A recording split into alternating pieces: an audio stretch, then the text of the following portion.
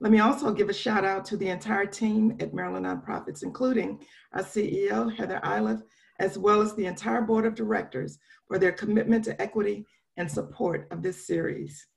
Thank you also to our sponsor, CareFirst, for their support of this webinar series.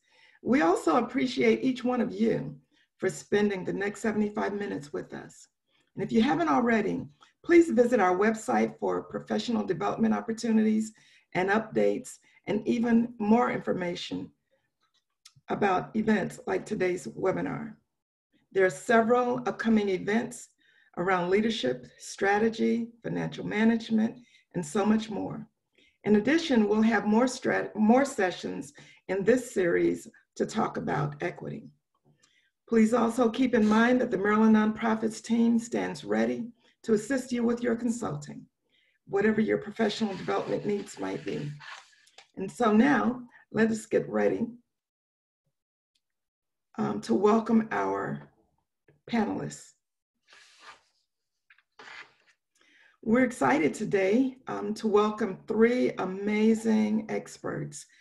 Um, Azure Grimes, who is the project coordinator for Libraries Without Borders, Dr. Sosanya Jones, assistant professor at Howard University, and also Dr. Brenda Kelly, resource specialist at the District of Columbia Public Schools. Welcome, ladies. Would you all turn your um, your video and your audio on. And also just wanted to remind you that um, this session is being recorded and the slides as well as the recording will be available following this webinar. Next slide, please. So I'm gonna ask each um, panelist to introduce themselves, starting with Azure, then Dr. Uh, Jones, then Dr. Kelly. Um, tell us a little bit about yourself and what brings you to the work today. Hi, everyone. Um, my name is Azure Grimes. The pronouns I use are she, her, and I am the Baltimore project coordinator for an organization called Libraries Without Borders. We are an international nonprofit dedicating to increasing access to information in equitable ways to communities in most need. Um, we have several locations um, in about nine states around the country, um, and I serve as our Baltimore project coordinator for a program called the Wash and Learn Initiative. This initiative, we partner with the Enoch Pratt Free Library, nonprofit organizations like the Cash Campaign of Maryland, and other groups to create micro libraries inside laundromats. And so I'm very excited to be talking about digital equity. I'm very excited to talk about equity in general. I was born and raised in West Baltimore, so I'm all about Baltimore City. And I'm looking forward to talking more in depth about the ways in which we could get reconnected in Baltimore City as well as in other spaces around the country. And thank you for having me. Thank you, Azure. Dr. Jones? Hello, everyone. Um, I'm Dr. Sosanya Jones. I'm an assistant professor at Howard University within the Educational Leadership and Policy Studies Department. Um, and I've been studying and working as a administrator and teaching um, related to issues on equity, especially as it pertains to Black and Brown college students um, in higher education for over 15 years now. And so I'm really interested in not only what we can do in the classroom, but what we can do outside of the classroom and in areas of policy um, to better support um, our Black and Brown students. Not only their their experience in college, but those are, who are being shut out of college and the colleges that serve them. So I'm really happy today to talk about COVID and its impact on the community because um, I think it's exacerbating some inequities that we need to talk about. Um, and so thank you for having me. Welcome. Thank you, Dr. Jones. Dr. Kelly? Hello, everyone. I am Dr. Brenda Kelly, and I come today with 40 years of teaching, um, actually 40 years of learning, because my students teach me every day. Uh, I, I come to this because I feel I have the ability to build community uh, where parents, school, and students are all equal stakeholders in the learning process. There have been many changes over my 40 years of teaching in policies, in programs, and curriculums, but one thing remains the same, and that is children and they just want to know that you care. So I am here um, just to offer some uh, tips on helping our communities to work closer together with getting our children to be where they need to be. Thank you again for CareFirst and also the sponsors and partners.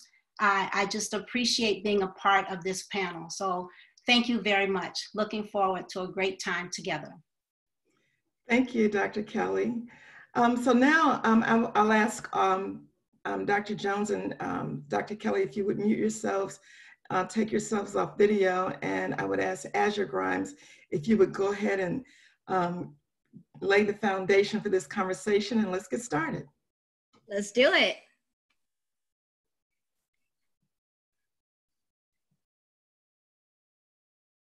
All right, so hi everyone. Uh, like I mentioned before, my name is Azure Grimes and I am the Baltimore Project Coordinator for Libraries Without Borders. And today we're gonna be talking about digital unification within the digital divide.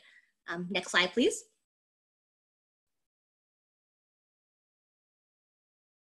And so the purpose of this presentation today is to try to one, figure out what the current landscape is specifically in Baltimore City when it comes to digital equity or digital inequity.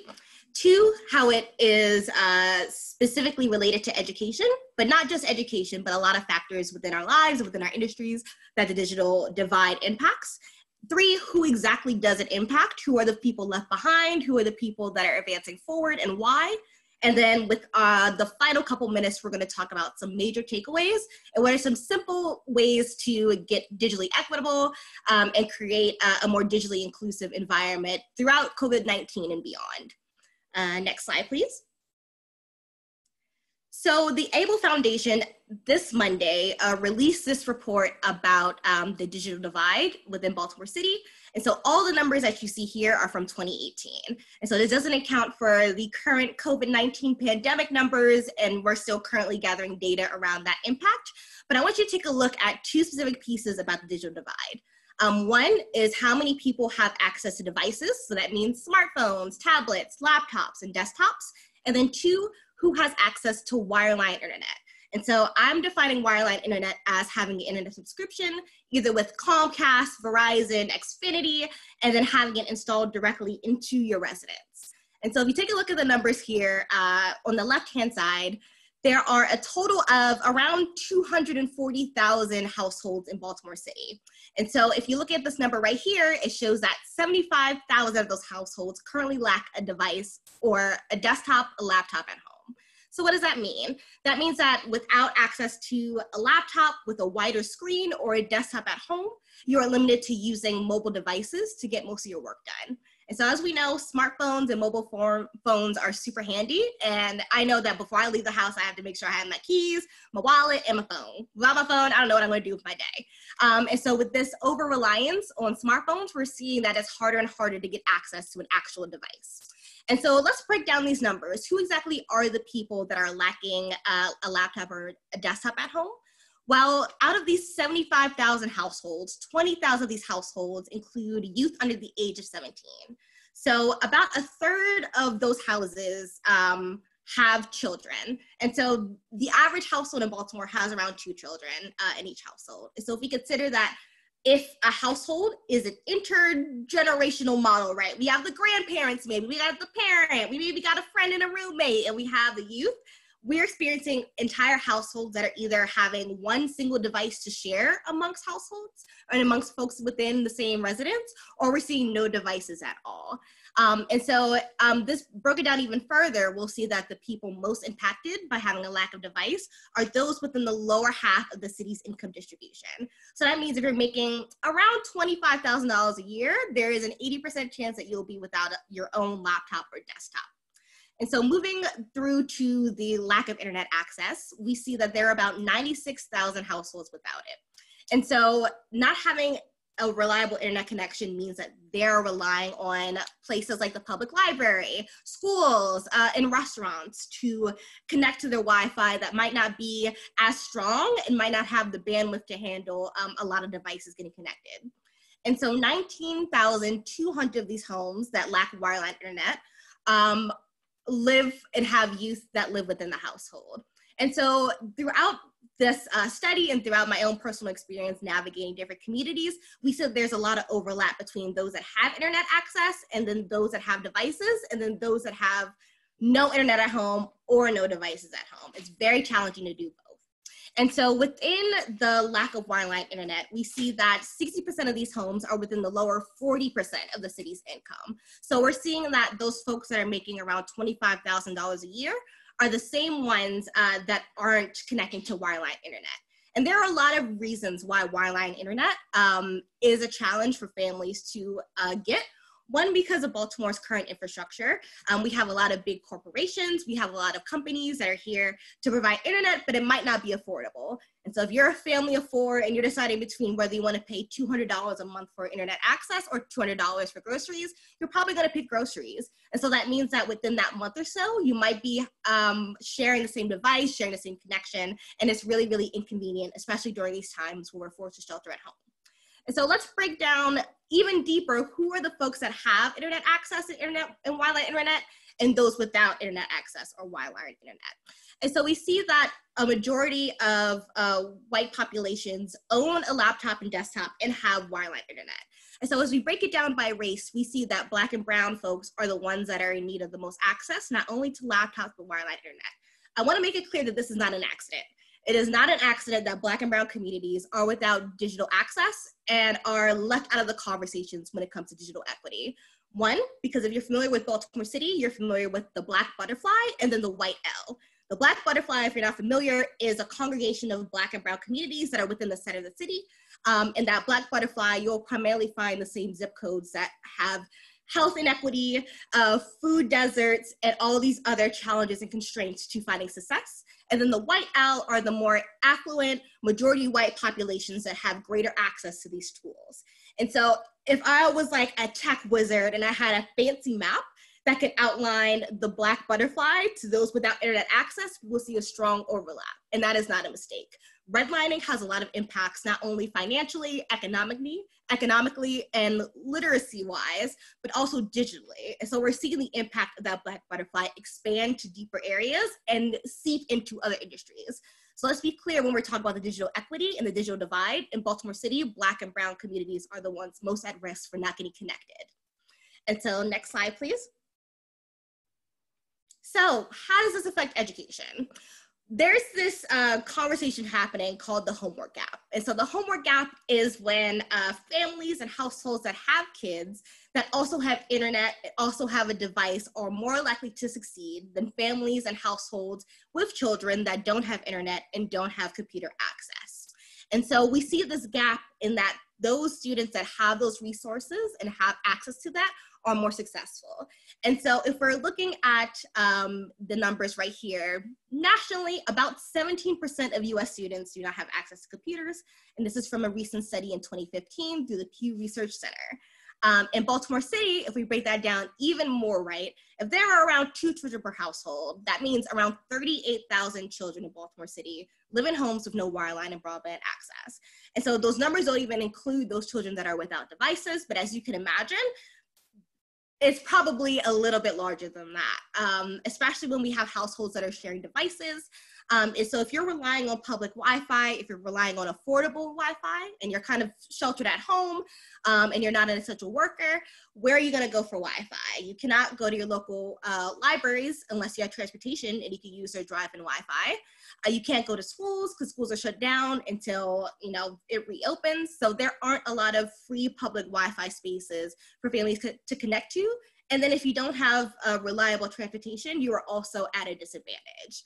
Um, and so when we look at literacy rates in Baltimore City, it's not a surprise that the same neighborhoods that are impacted by food deserts, that are impacted by socioeconomic issues, that are challenged with racial inequity, um, are the same communities that have lower literacy rates. And so this is all interconnected. Um, the next piece when it comes to education is device sharing. As I mentioned, um, there are, I've been hearing more and more stories of families sharing one or two laptops amongst four or five people. And so if you are a parent and you work from home, if you have two children and they're going to school at home, if you got grandma and grandma needs to watch her shows at home, then how are you going to prioritize who has access to that device that day and who doesn't? And even within households, we're seeing that there is an inequity or a lack of access that is impacting the day to day. And so this next piece is really important. We're seeing an increase in smartphones, iPhones, Androids, all that fun stuff. And so we're seeing more and more people relying on their smartphones uh, to complete classes, to complete forms, uh, because they don't have a desktop at home. It's been proven that learning on a wide screen, so about 13 inches and upwards, um, there is a higher increase in retaining information, education, and literacy. So overall, learning works way better on a wide screen. It is not effective when it comes to learning on smartphones um, if you're 100% relying on that. So what does that mean? It means that if you have been currently laid off due to COVID-19, if your restaurant or if your store has had a current has had to have a hiatus and shut down, um, that means that you have to apply for unemployment, right? You have to go through the website and calling in is just not effective. People are waiting hours, people are waiting days just to get through to a human and try to talk through the situation. And more and more people are recommending that they go to the online platform. And so if you only own a smartphone or if your home internet isn't, you know, super fast, you'll be waiting in line for a very long time. And if you're using your smartphone to access these forms and to fill it out, you will be unable to make a, other calls, to use it for other things, and you'll just kind of be trapped in the cycle of kind of waiting your turn at the line. And so, um, one recent study that was um, tested about 2018 2019 showed that 86% of government websites are not mobile friendly. So you don't pass the test for being able to use smartphones to fill out unemployment forms, uh, food supplement benefits, etc. So it's just not an effective way to move forward through life as your only source of uh, internet access or access to a device. And so when we're thinking about these same communities um, that are suffering through the digital divide, who are already experiencing tons and tons of inequity already, and then on top of that, they don't have access to internet at home, what does that mean now that we're sheltered at home? Well, with COVID 19, everything is online.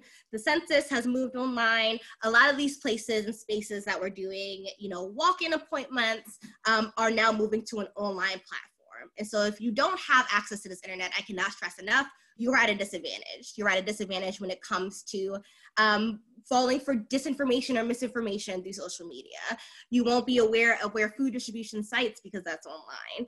Um, social media has definitely increased, but if you're not super into Facebook or Twitter, how are you accessing your information aside from you know television or the news? And that's hoping that you have access to cable at home. And so what we're seeing is that the same communities who have historically been disenfranchised are now getting disenfranchised through this digital divide and that they have a lack of health access, of quality education access. And so we're seeing that more and more communities are disconnected and falling deeper and deeper into the shelter. And so I think it's important to note that there are uh, five communities in Baltimore City alone that are facing the greatest gap when it comes to digital, digital services. And I'm gonna shout them out real quick and that is Cherry Hill, Greenmount West, Clifton-Berea, Walbrook, and Arlington. And so those places, uh, based off of a recent uh, study done by the Baltimore Neighborhoods Indicators Alliance, I hope I got that right, um, showed that those neighborhoods that I just listed are above 45% of those populations um, lack internet access. So that means that within those several blocks uh, radius, we're seeing a higher percentage of folks within those neighborhoods without access to technology or wireline internet. And so if you're familiar with Greenmount West, Clifton-Berea, all these neighborhoods, these are the same neighborhoods that if you go to the Baltimore Sun right now are the same neighborhoods with the highest rate of the current coronavirus. Um, let me say those communities one more time. That is Cherry Hill, Greenmount West, Clifton-Berea, Walbrook Junction, and Arlington. I also want to add um, Mount Clare to the list as well because that is another, another neighborhood that is impacted through the digital divide. Um, next slide, please.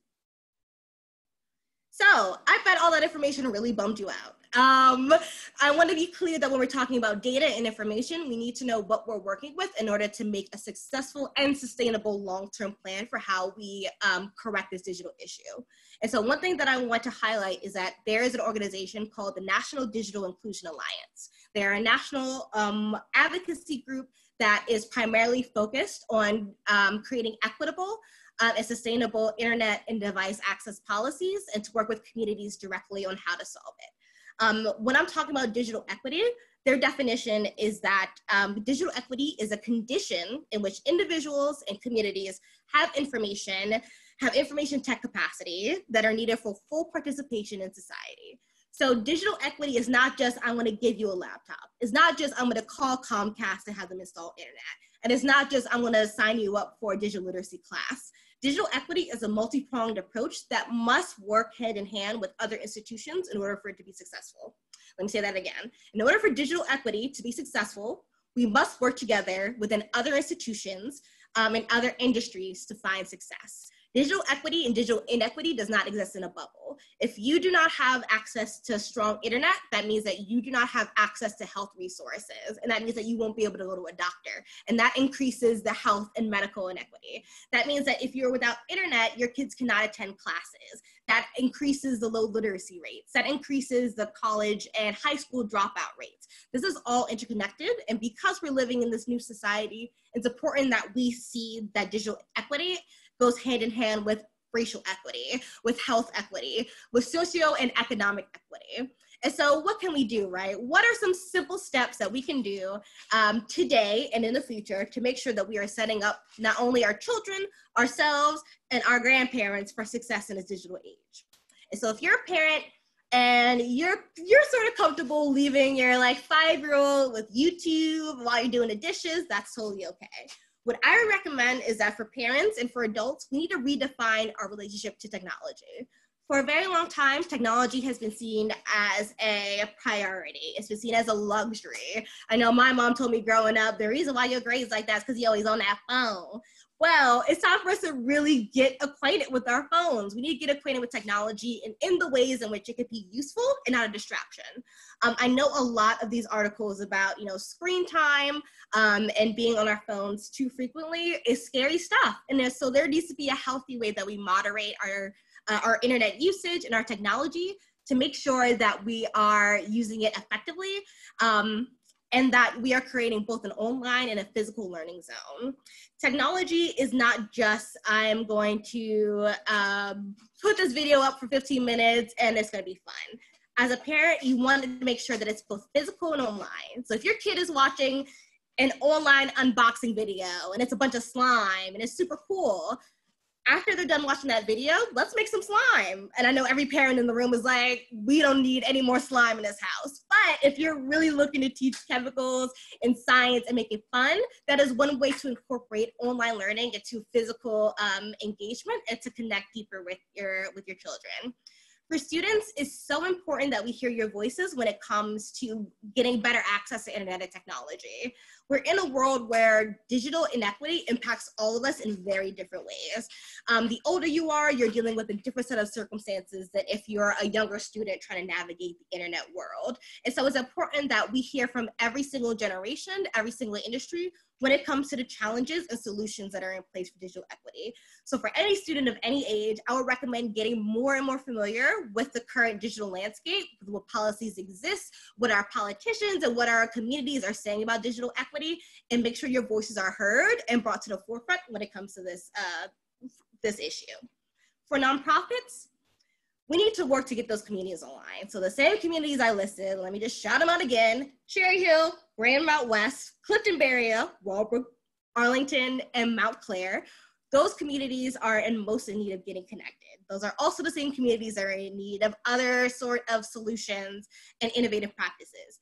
I would not recommend ever going into a community and saying, I know exactly what to do to solve your problem. I have all the answers. I think it's important that communities, especially from these neighborhoods, voices are heard when it comes to their specific issues with internet.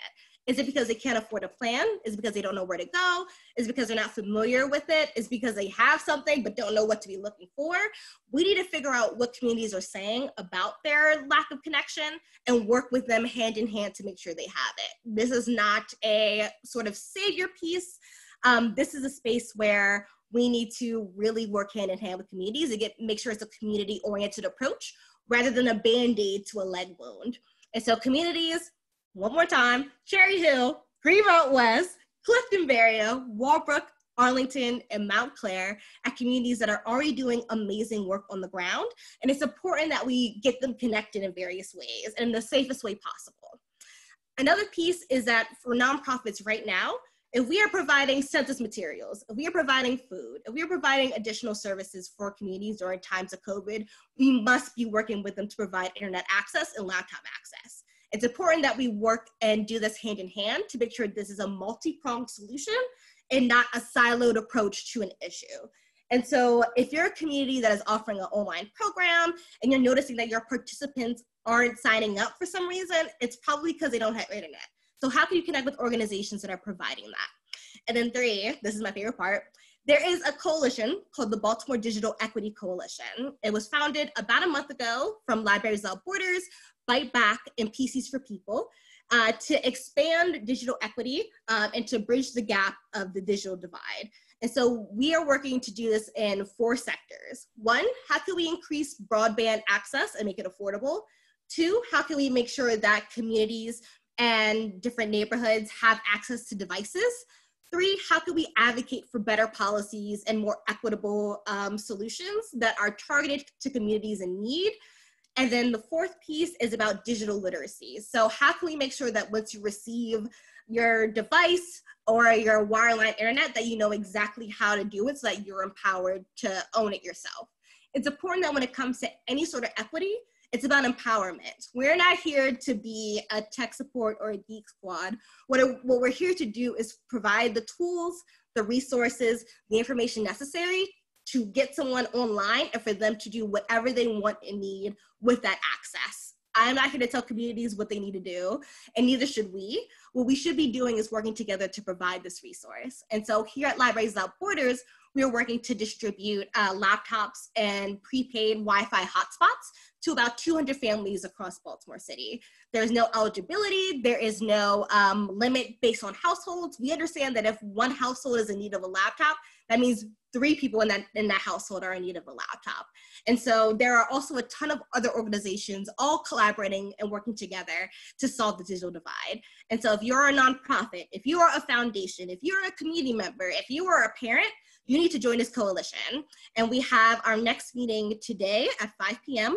If you click on that link or type it in or click on the link in the chat, you can sign up and you'll be invited to our next meeting. And so this meeting, we're gonna be talking a lot about broadband access and to get people more cued in onto what's needed. You don't need to be like a tech wizard. You don't need to be Mr. Robot to really understand the digital inequities and to care about it for your communities. Because as we see, digital equity and digital inequity affects us all. And so we need to get reconnected and connect to those that are experiencing the most disconnect.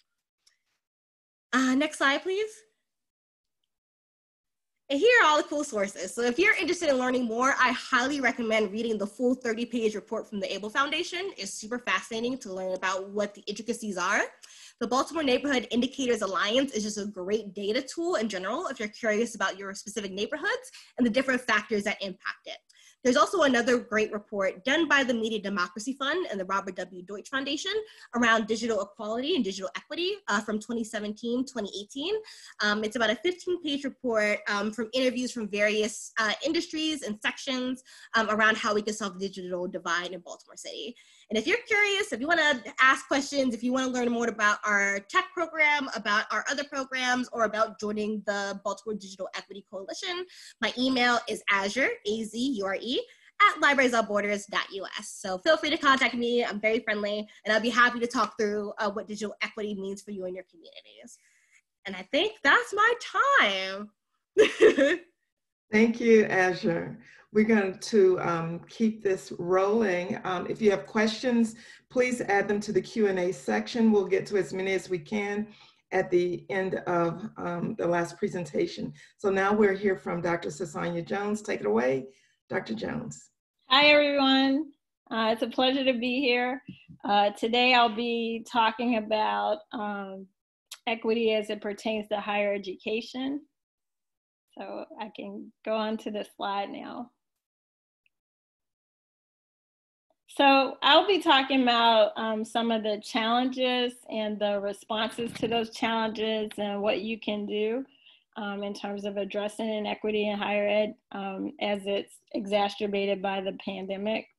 Um, currently, we're in an unprecedented time. Um, there was a pandemic before, but at the time, um, higher ed wasn't nearly as large as it is now. We're at a moment in time where higher ed is the most populated it's ever been. We have the most um, students, we have the most faculty and staff, um, and an unprecedented amount of institutions of higher ed. So this um, circumstance, this crisis has really called attention to a lot of the weaknesses in higher ed, um, ways in which higher ed is not um, serving various populations. Um, and inequities within the very institutions that serve a disproportionate amount of students of color in particular and other marginalized populations. Um, in particular, HBCUs um, are getting hit very hard by this pandemic um, because they were already under resourced and underfunded. Um, and so they're asked to do more with less. And um, it's really having a ripple effect for the students that they serve. One of the examples is um, Howard University, which a lot of people associate with um, wealth and prestige, is actually, you know, it is very prestigious, but in terms of its peer institutions, particularly predominantly white institutions, um, it's severely underfunded.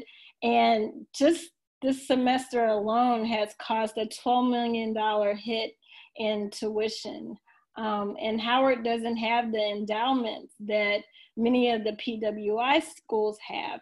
And it's one of the most elite of the HBCUs. So you can imagine the effect this pandemic has had on some of our less resourced public HBCUs that don't have the same prestige and funding as Howard.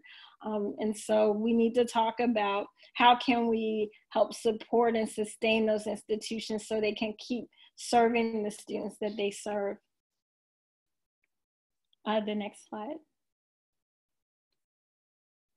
So one of the things I really want to highlight today um, is kind of um, breaking down some of the the stereotypes that people have about college students. I think the media does a great job of crafting this narrative that if you go to college, you've kind of arrived, you made it. Um, and there's a, a, imagining of what a college student looks like right now that very much is very privileged um, and is usually very white.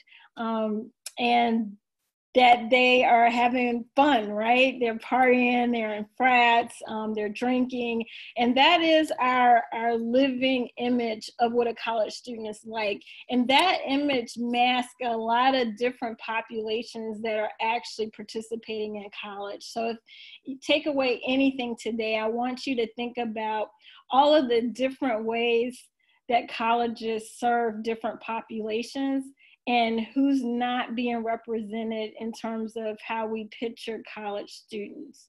Um, so we know that most college students are not um, right now, they are not white. Uh, so college students are serving a lot of students of color. And because of that, there's a lot of intersectionality with other issues because students of color are disproportionately from um, homes that are less wealthy um, and less equipped to participate in higher education because of historic inequities. And so we see that 58% of college students have experienced some kind of housing insecurity before the pandemic. These are the numbers. Almost half didn't know necessarily if they were going to be able to stay where they're actually were supposed to be staying. 16% of college students have experienced homelessness, and that was before the pandemic. Um, then we have subpopulations of students that we hardly ever talk about, foster students. Before the pandemic, only 20% attended college and only 9% graduated. So we have a, a, whole bunch of different types of students that were already struggling before and now we're kind of cut off from them um, because of what azura was talking about is that these things aren't in silo categories. If you are in underserved neighborhoods and a member of an underserved population, there's a chance you probably don't have access to digital technology so you can stay in tune, so you can represent yourself. And so we're currently in the dark about many of the populations that are the most vulnerable. They don't have a voice necessarily because maybe they don't have access to technology. And so Another important group is LGBTQ students. Before the pandemic, 50% of all LGBTQ youth said their families made them feel bad about themselves, and only one fourth reported being comfortable at home. So, what does it mean to be shut in in a place where you're not accepted for who you are? What does that look like? Um, are people do are people safe? Do they feel safe? How do you do work in that environment? Um, and then we have our international students students who are mostly self-funded who come over here have no access to financial aid and now they have to either go home um, before they before they were forced home or they're stranded here. A lot of students actually are stranded here in the US, um, but they don't necessarily have access to the support that some other students have. And so um, a lot of these students don't have a way to communicate and represent themselves, and so they're forgotten about. Next slide, please. So, of course, housing insecurity is very much related to food insecurity. 33% of college students experienced food insecurity before the pandemic. Um, in fact, that number is very conservative. We know that um, food pantries have been popping up all around the country at various colleges, and they can't keep those food pantries stocked because college students really are starving to be at college. Sometimes they have to choose between paying the rent or paying for textbooks and getting groceries. Um, and because a lot of that's related to the, the cost of college has gone up exponentially. The cost of college today is almost a new Mercedes Benz every single year. Um, and that was not the case 20 years ago. So college students are sent home right now. They have to find a job to qualify for welfare to get groceries. And if you can't find a job in some states, you don't qualify for welfare. And as Congresswoman uh, Marcia Fudge says, Food insecurity was already a problem on college campuses across the country before the pandemic, and we need to get students help before it turns into a full, full-blown crisis. And I would argue that it's already a full-blown crisis. Um, but the problem is we don't know how bad it is because of the way we've been cut off from these most vulnerable populations. Next slide, please.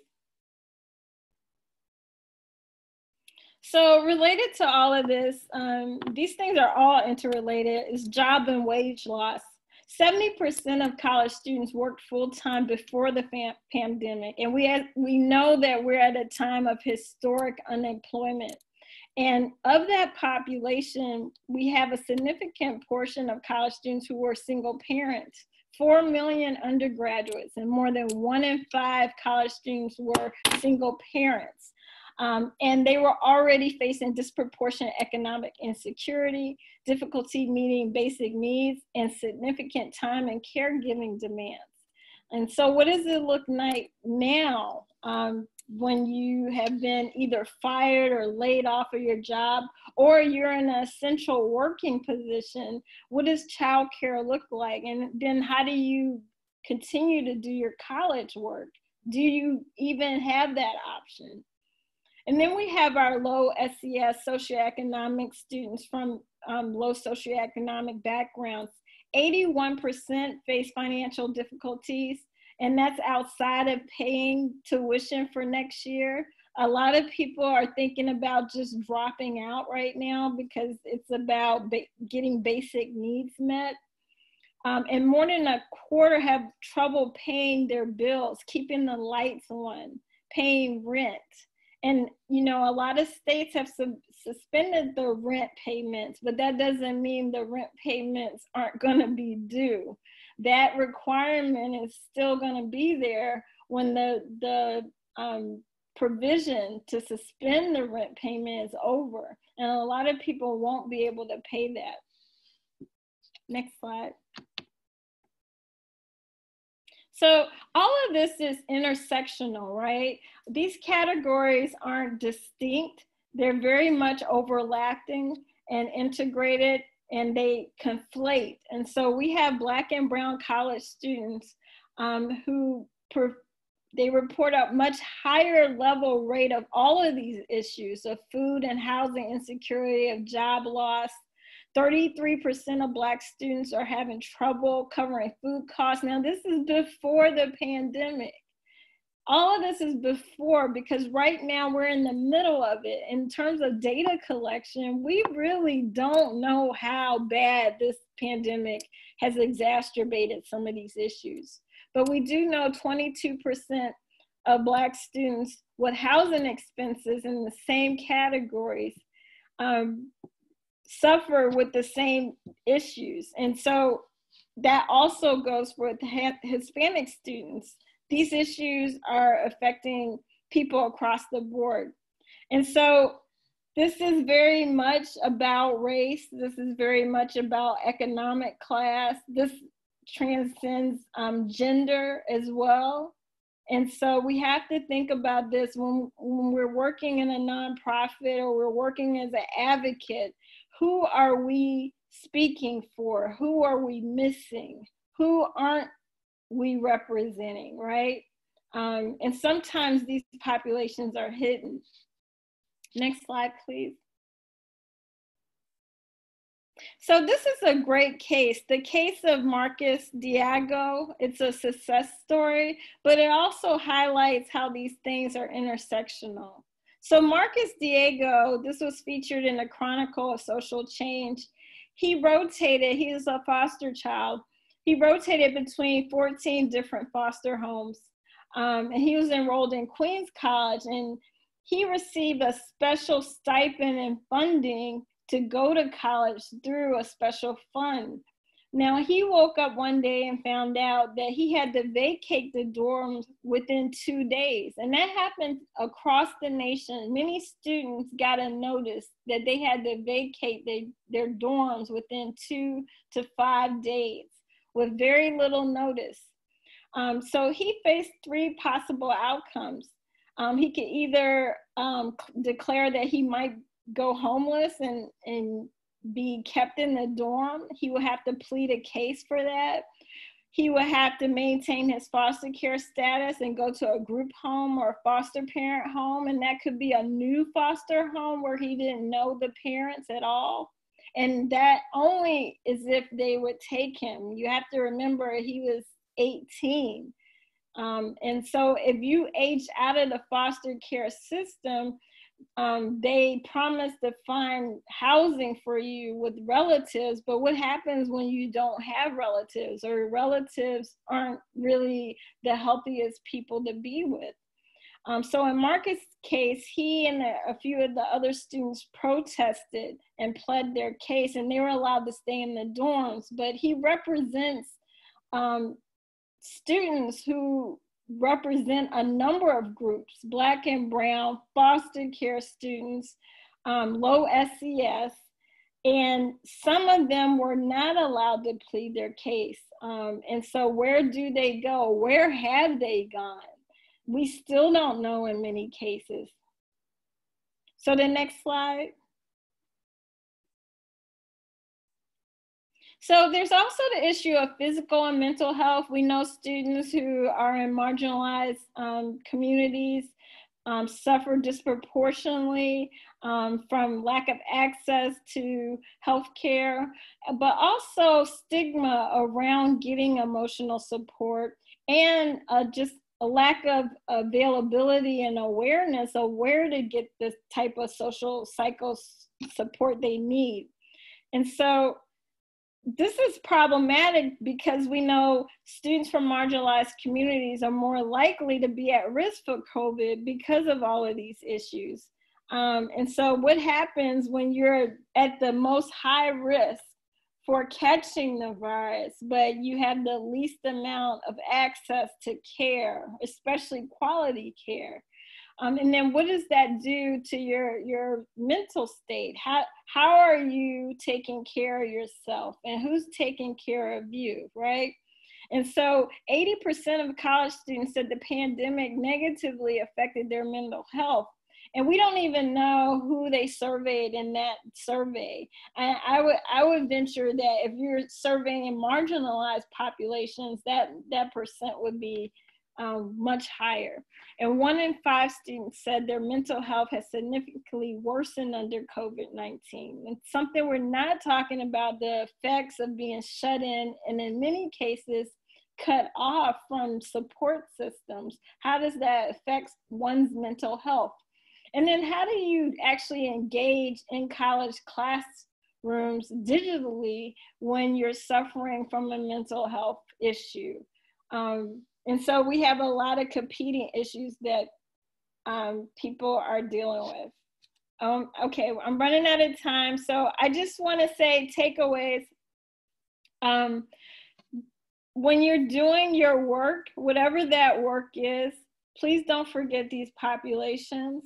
Please don't um, discount someone because they're in college that they, you know, arrived or they're at a different uh, uh, particular social class and they don't need support.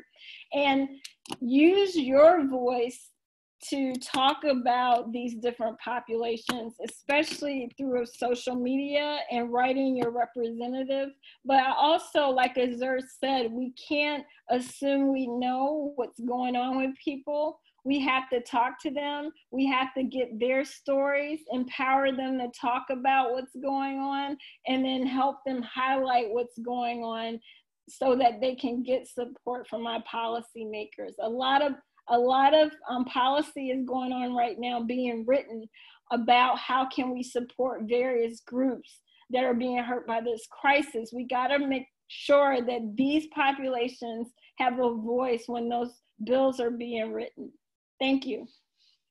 Thank you so much, uh, Dr. Jones. Um, please, if you have questions, please include them in the Q&A. Um, we're going to hear now from, um, from Dr. Brenda Kelly. Good evening again, afternoon. I, am just so grateful for the uh, panelists that have gone on before me. Uh, thank you, Ms. Grimes, for setting it up, and Dr. Jones for um, those numbers and talking about uh, what's actually going on on the college campuses. Uh, I would like to um, talk to you about what's going on in the, the at, at the beginning, the um, elementary school level children. But so um, next slide. So before the um, coronavirus 19, we found that many school districts were already struggling to provide an equitable education for all learners. Those learners, the special ed, um, the ones who were mentally and um, intellectually challenged, those students who are English as a second language, um, children who are poor and in disadvantaged communities, they were already having chronic, chronic underfunding. So it's to the point that it really has taken its toll. So public, um, public, public schools actually lack the resources, many of them lack resources and the critical personnel support necessary to meet these needs of these vulnerable students and populations. So I want to uh, actually tune in and, and on the, the word equity. What does that mean? Um, what does it look like in a public school? Fairness, freedom from bias or favoritism. Uh, we need to think about what it what it really means, and is is that it, do we see equity on a national level? Do we see it on a district level, school, even in the classroom, and right down to the individual? Next slide. So what I'd like to do is talk to you about the holistic point of view here. You know, um, Dr. Jones really homed in on it when she talked about um, college students and how even them going back home now might not even be comfortable in their own homes. Well, Andrew Maslow, he was a, a psychologist, in his in a paper in 1943 came up with this pyramid of um, hierarchy. Here, we're looking at the lower part of that pyramid. Uh, the most basic needs are food, water, warmth, and rest. And then we go up just to that, the very next uh, rung of that ladder to safety and security. And we can actually just stop there. But you see, in order for a child to get up to the fulfillment of just being um, understanding himself, herself, self actualization, he has to get up to that um, hierarchy. So let's just talk about what are, are the problems here is keeping us from getting into that hierarchy. Next slide.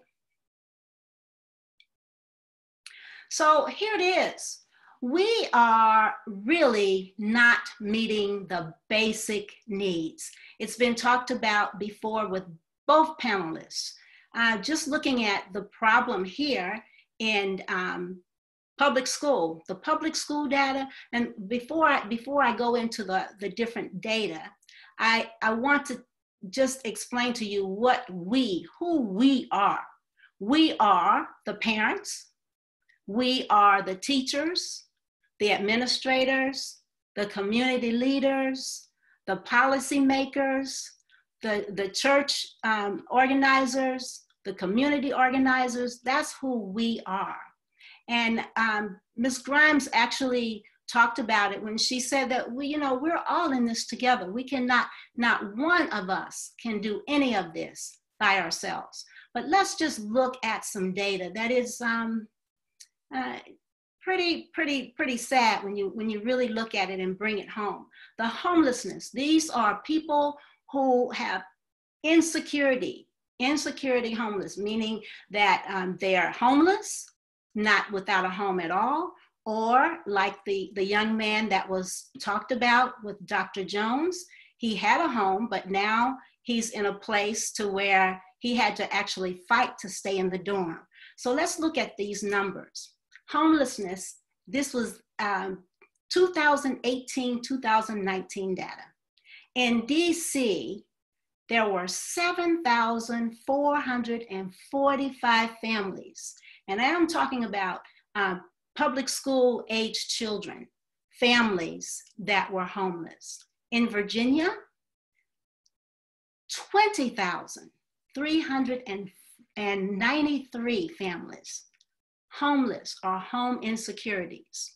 In Maryland, there were 17,601,000. Now, that is a lot of people that are have home insecurities. But now let's look at the child care, and we will go in, in uh, further into that as um, I go throughout the presentation. But the child care in Maryland, and these are for children who are infant in infant care, the child care in Maryland is $15,335 for a year. In DC, 10,000 254,000 a year. And Virginia, $14,063 a year. Now, of course, going back to the homeless, if you're homeless, you're also food insecure. You have food deserts, as Ms. Grimes talked about. But look at the, the, the numbers here for those who are food insecure. In Maryland, there was 15%, 15.2% of the children in Maryland are food insecure. And Virginia, 13.2%. And DC, 21.2% children who are food insecure. So here we go down to the basic levels, back to the Maslow's um, hierarchy, the basic levels of food, water, warmth, and rest, and safety and security. You have all of these numbers, high numbers, percentage, who right now are just without that, um, just the basic physiological needs that a child needs in order to um, be successful in school or be successful in life, period. Next slide, please. So we talked about the problem. So what is the solution? And this is a, a, lot of what we can do too. We have to, first of all, take care of the whole child. Who, again, are we? We are the parents, the teachers, the administrators, the neighbors, the community leaders, the policymakers. We are all in this together. We have to take care of the child to make sure that those basic needs are, are taken care of. We have, um, we, we have to have um, clean water, clean air, food. A child needs to feel safe, not only physically, but mentally. And then that part of belonging. Um, you know, we talk about inclusion, but why should we have even the word inclusion? Inclusion means that, okay, I'm better than you, so I'm going to include you to make you feel like you're part of the family. When we need to feel like we all belong, in which we do. We are all in this together. And what do we need to do? We need to build self esteem and achieve potential lifelong um, um, that's a lifelong process to do that. So I want you to look over at this, um, the circled part of this. This um, actually starts from the very beginning. And as you can see, it right in the center is the, the child, the individual. And, you know, first of all, we need to stop the blame game.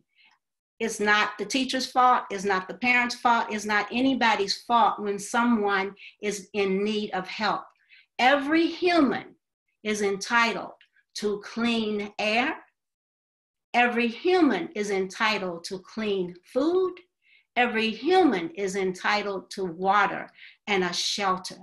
Every child should feel like they belong and not um, put aside. So, looking right at the center, here we are working with the child, and then we have to go out into the community uh, work with family, schools, the um, religious institutions, health services, and peers. All of that, we are interacting. At, we heard it over and over again in each uh, presentation. We are interacting in and out with each other to make our communities what they need to be. So, what is it? What is it that we need to do? Well, first of all, I um, I am just an advocate and a promoter of early childhood education. Uh, we in the United States have our children start school at five years old, and at five years old, uh, what usually happens at five, you've learned a lot between zero and five years old. And in some of our communities, what we are learning are, are negative behaviors.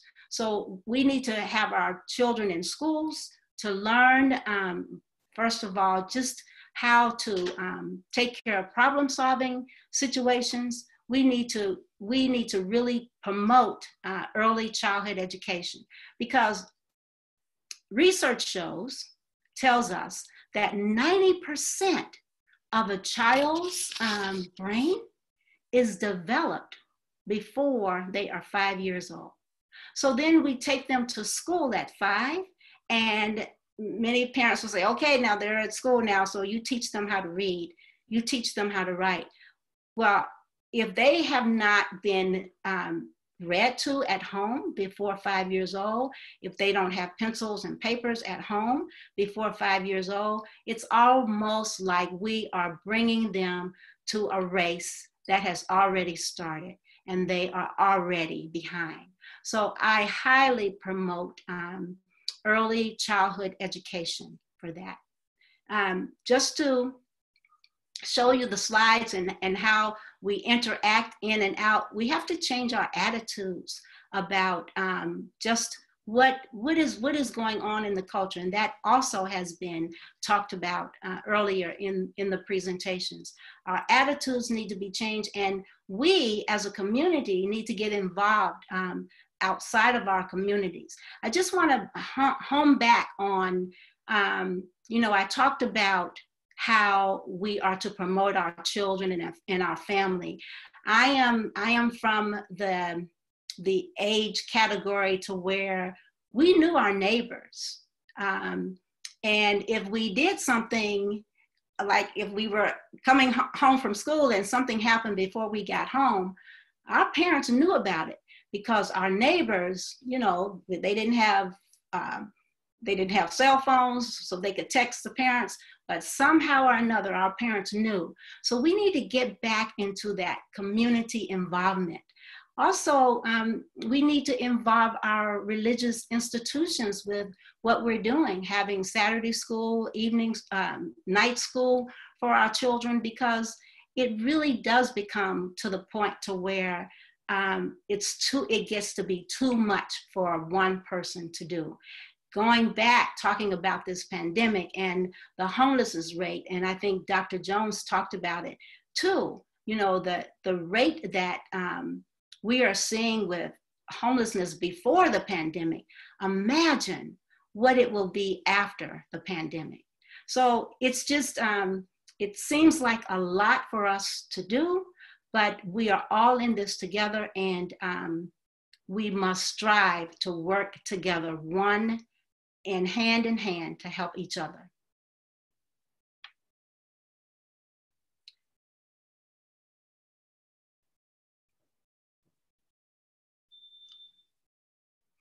Um, I believe I think um, I'm going to stop there.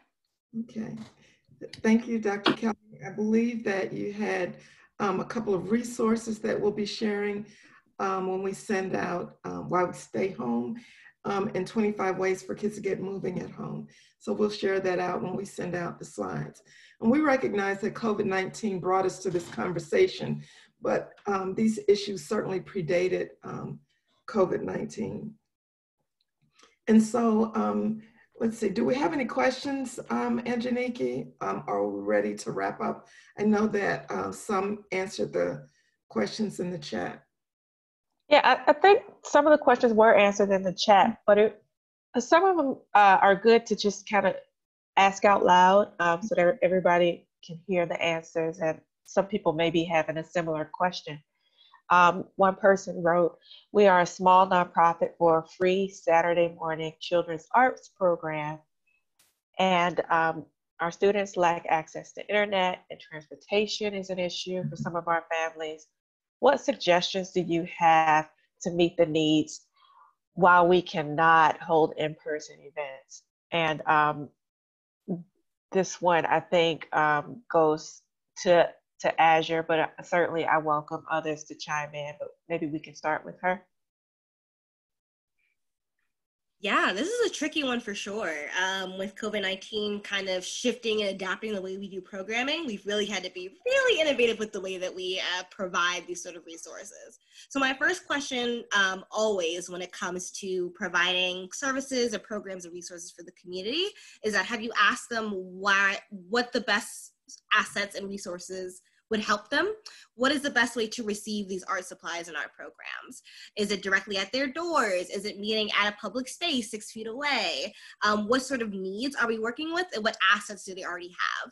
Do they have a device and maybe it's about 10 years old, but it can still use a DVD player?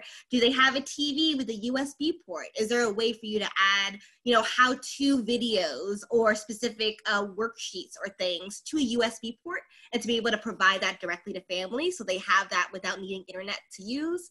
Is there a way to create a DVD or a CD or a packet that can be dropped off directly at the door? Um, with internet and lack of internet access being a challenge, it's time to like go back to the low tech days where we did deliveries, and we printed out things and provided it in a safe and secure way, um, as not to try to cross contaminate or to use services. Um, but my first question and probably my greatest answer for you is to ask them directly how they would like to receive those resources and work around their needs. And it's going to be really hard. I know capacity is an issue with nonprofits nowadays, but trying to figure out how you can make sure that you're meeting people where they are literally and to work your programs and adapt your programs around uh, their specific assets. Thank you. Any other responses or any other questions?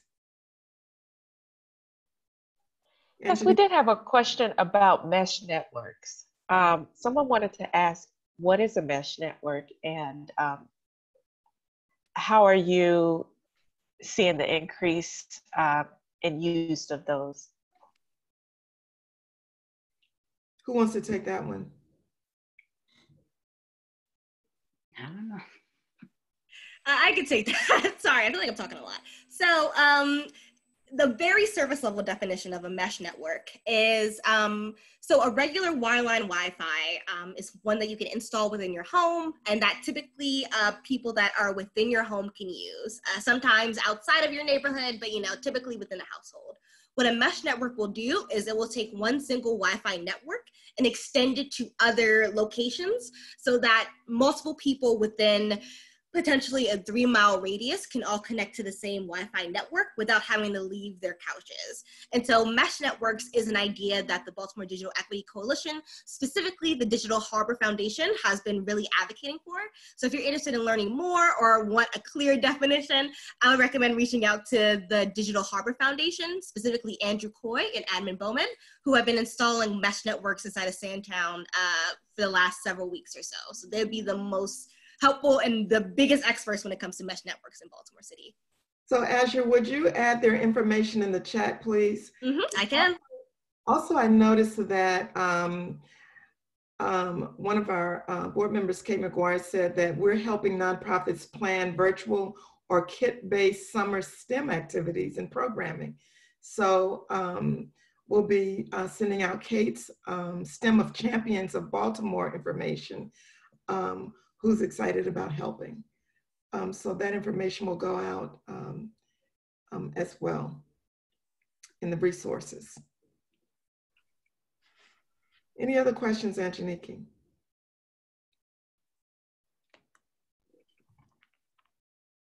Not at this time. I think now is probably a good time to get final takeaways. Okay, so if we, I first of all just want to thank um, each one of you for your great presentations and, um, and to our audience who's watching and listening.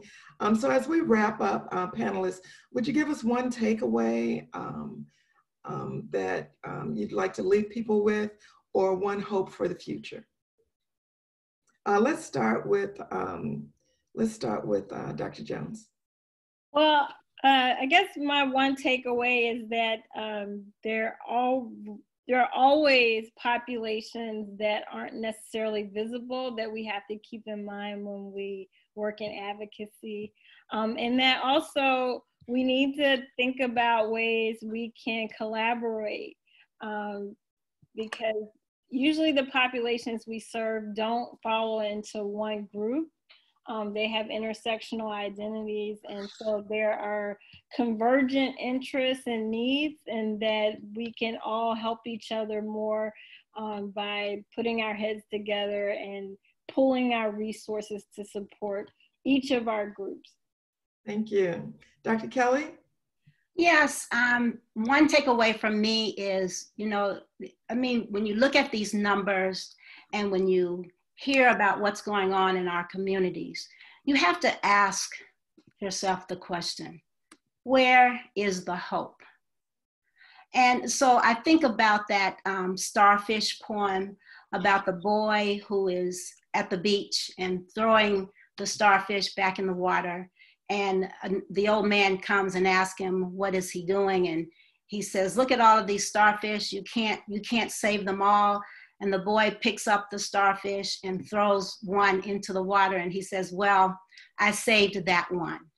Well we have to ask ourselves um, you know where are we in this? Because for us it's it's a pandemic you know? So where are we? Are we the boy who is helping to save someone? Or are we the, the man who's criticizing on the side?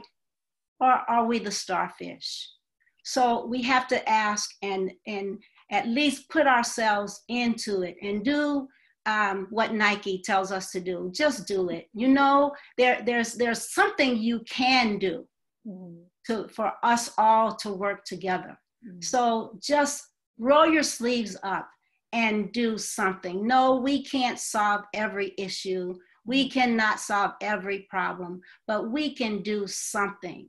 And if all of us are in it, in it to do something, then something will get done.